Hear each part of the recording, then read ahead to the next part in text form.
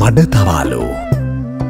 ශ්‍රී ලංකාවේ පාරම්පරික සහල් විශේෂයක් වන මඩතවාලු රතු සහල් ප්‍රබේදයක් ලෙස හඳුනාගත හැකිවෙයි. පොළොවින් සෙන්ටිමීටර එකසිය හතලයක් පමණ ඉහලට වැඩෙන මඩතවාලු මොරයන් විස්සත් තිහත් අතර ප්‍රමාණයක් හටගන්නා බැවින් අපේක්ෂා කළ හැකි අස්වැන්න අක්කරයකට වීබුසල් එකසිය දහයක් පමණ ඉක්ම විය හැකිය. කාබනික පරිසර පද්ධති ආශ්‍රිතව ඉහළ වර්ධන තත්ත්වයන් පෙන්වන මඩතවාලු දිවයිනේ බොහෝ ප්‍රදේශයන්හි වගා කෙරෙයි. මඩතවාලු කැඳ ලෙස ආහාරයට ගැනීම ප්‍රතිශක්තිය වර්ධනය කිරීම ශරීර ශක්තිය වර්ධනය කිරීමට පහසු වන අතර දියවැඩියාව හදවත් රෝග ආදී රෝග රැසක් සඳහාද යෝග්‍ය වෙයි. අපේ උරුම වී රට සරු කරාවේ හෙට දින වෙනුවෙන් උරුමය සුරකෙමෝ ශ්‍රී ලංකා ටෙලිකොම්.